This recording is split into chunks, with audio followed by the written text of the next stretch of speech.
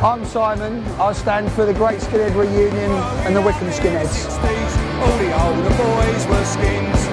I wanted to be just like them, but I could never join in. Then the 70s and the 80s came. I got a job and I got a flat.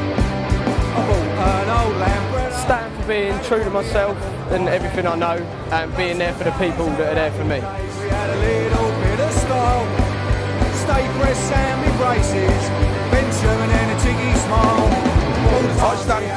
We for had- tolerance and tradition. Who could forget all that? When I rode an old Lambretta, had it from me and a bolt I had.